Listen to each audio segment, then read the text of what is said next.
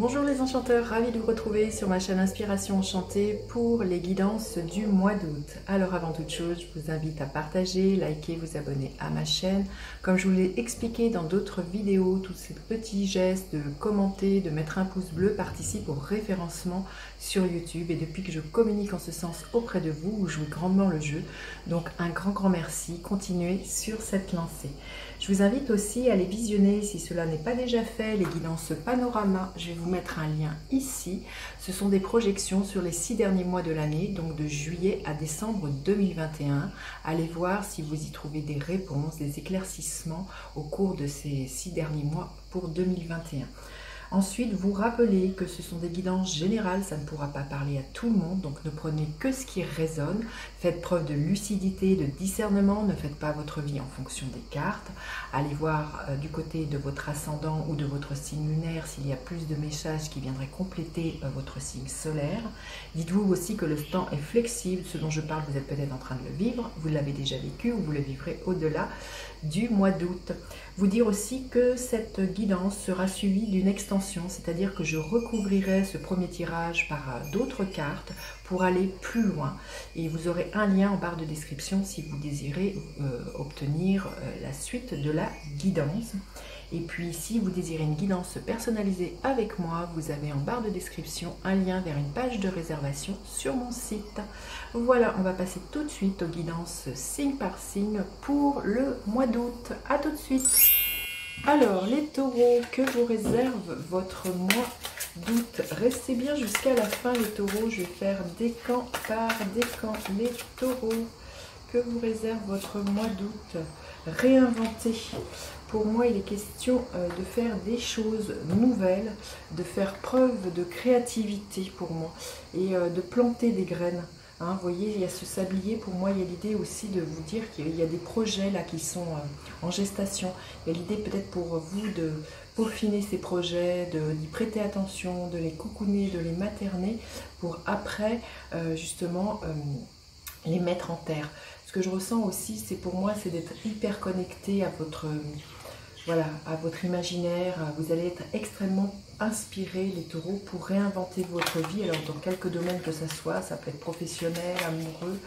Mais euh, voilà, il y, a quelque chose là qui est en gestation. Hein. vous voyez, on voit sur cette carte euh, comme une femme qui porte quelque chose là.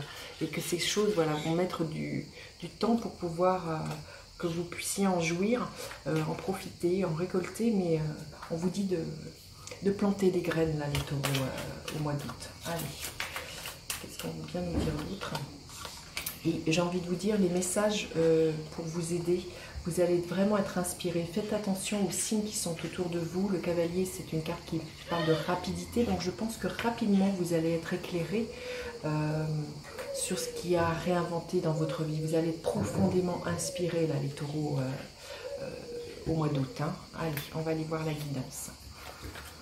Vous allez vraiment avoir des, messages en ce sens. Peut-être peut-être vous attendez du courrier hein, avec ce cavalier, du courrier pour, par rapport à une demande professionnelle, à une, recherche d'emploi, du courrier d'un amoureux aussi. Il y a peut-être quelque chose de cet ordre-là.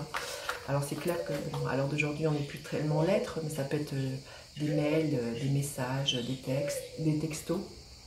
Vraiment quelque chose de cet ordre-là. Allez, on va voir. Quel est votre état d'esprit, les taureaux? Quelle est votre force au mois d'août? Quelle est votre faiblesse? À quoi vous aspirez les taureaux? Celle-ci s'est retournée. Oui, on voit hein, qu'il y a vraiment euh, l'énergie euh, de mourir et renaître à qui vous étiez. Hein, parce qu'on vous dit bien de vous réinventer là, les, les taureaux. Allez, concrètement, qu'est-ce que vous pourriez espérer voir se matérialiser? Et quelle est l'énergie qui est là pour vous à la fin du mois d'août Alors, votre état d'esprit, le 5 euh, de bâton, ça va, euh, j'ai envie de vous dire, j'ai envie de le voir très, très lumineusement, ce 5 de bâton. C'est vrai que ça peut nous parler de, tension, mais j'ai j'ai plutôt l'impression que ça va être plutôt une sorte d'effervescence extrêmement motrice à l'intérieur de votre tête, ce 5 de, ce 5 de bâton. Il peut être question, voyez, de mettre en commun les idées que vous avez avec d'autres personnes, de, confronter vos idées, voyez, ce qu'on appelle le brainstorming pour faire jaillir quelque chose d'extrêmement lumineux. C'est un peu ce qui pourrait se passer justement au niveau professionnel, c'est que chacun donne ses idées et de toute cette effervescence, il émerge vraiment quelque chose de très très beau. quand je vois ces cartes, c'est comme ça que j'ai vraiment envie de l'interpréter. C'est au niveau, voilà, peut-être au niveau euh, donc professionnel, ça peut être au niveau euh, euh, amical ou amoureux, l'idée de, de, voilà, d'une effervescence, de, bouillonnement, d'inspiration, d'imagination, quelque chose de très très feu, très passionné, très animé. Alors c'est vrai que ça peut générer quelques tensions, mais c'est, je le sens vraiment d'un côté qui peut être extrêmement euh, fructueux, qui peut être euh, extrêmement fertile. Il y a vraiment quelque chose de, euh, de cet ordre-là. Alors, votre force, l'énergie de la reine de Pentacle, donc c'est votre énergie, hein, on est dans de la terre, c'est que vous êtes extrêmement bonne gestionnaire, bon gestionnaire, vous savez euh, que vous avez toutes les ressources à disposition, que ce soit des ressources matérielles, financières, vous savez gérer euh, votre temps, votre argent aussi, quelque chose comme ça. Euh, ça nous parle de vous ancrer aussi, de prendre soin de vous, cette carte-là. Je sens que vous, c'est ça, vous, vous, allez avoir, par rapport à ce qui vous est demandé, là, de vous réinventer, de, nouveau, d'initier du changement, et de peaufiner, de mettre dans la terre, vous savez que vous allez trouver les ressources nécessaires pour euh, mener à bien vos projets. Par exemple, ça peut être l'idée euh, de travaux dans une maison, par exemple. Et là, vous savez que vous allez avoir le temps nécessaire, que vous allez trouver l'argent nécessaire, vous allez vous mettez, vous planifiez, vous structurez. Euh, vous prenez vraiment soin de votre projet, puisque c'est une reine, donc comme toute reine, elle, elle a cette fibre maternelle. Donc vous prenez soin de votre, de votre projet et vous êtes vous êtes serein à ce niveau-là. Hein. Votre euh, faiblesse, euh, l'as de Pentacle. Vous avez peut-être peur, euh, voyez, de, vous lancer dans une seule opportunité. Là, je sens, vous voyez, il y a, plein d'ébullitions, il y a peut-être trop de choses que vous avez envie de faire. Et là, à un moment donné, il va falloir faire un choix, il va falloir initier ce nouveau départ. Euh, il va falloir justement se dire, bon, bah, ça je prends, ça je prends pas. Il y a vraiment l'idée qu'on ne peut pas courir deux lièvres à la fois pour moi. Et là, euh, avec cet as de pentacle, c'est vraiment ce qui vous est. C'est qu'à un moment donné, il va falloir faire un choix, le poser pour pouvoir euh, initier un changement. Et là, il y a peut-être tellement de choses qui vous feraient envie, tellement de projets, tellement d'ébullition, que ça peut être un moment de litige pour vous, de ne pas trop savoir quelle plante, où investir. Il, peut y avoir un peu quand même d'hésitation. Justement, à quoi vous aspirez Vous aspirez à un profond changement, à, mourir à qui vous étiez, vous aspirez à un nouvel envol. C'est vraiment pour moi l'énergie de, de la chrysalide qui se transforme en papillon, l'énergie de la mort. Donc c'est euh, vous envoler vers quelque chose de plus neuf et de toute manière c'est vers ce qui est là pour vous. Hein. Vous allez vraiment réinventer votre vie. J'ai l'impression que vous allez faire table rase du passé sur beaucoup, beaucoup de choses.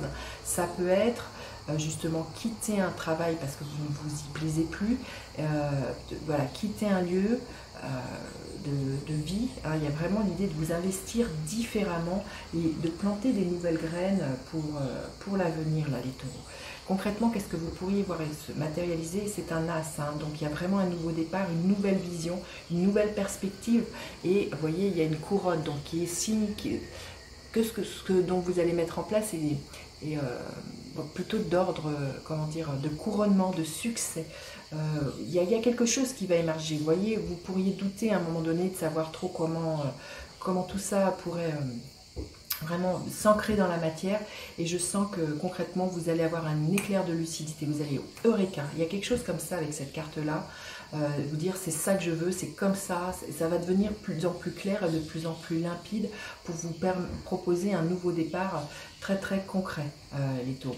Et quelle est l'énergie qui est là à la fin du mois? Un page de bâton, donc vous voyez un nouvel élan, euh, une nouvelle motivation, ça y est, vous, trouvez la, ligne directrice, vous trouvez l'élan et euh, vous foncez vers ce qui vous, ce qui vous anime, là, les taureaux. il y a beaucoup de, peps, hein, je sens beaucoup de joie aussi. C'est ça, vous allez voir que peut-être pour faire votre choix, il suffit d'écouter votre joie et que c'est celle-ci qui doit vous motiver les messages, vous allez les avoir. Vous allez avoir des signes pour moi, vous allez avoir des courriers, vous allez vraiment, tout au long du mois d'août, au fur et à mesure que celui-ci va se dérouler, vous allez vraiment de plus en plus prendre de, consistance dans ce que vous avez envie de, voir vous proposer les, les taureaux. Allez, on va demander un message supplémentaire.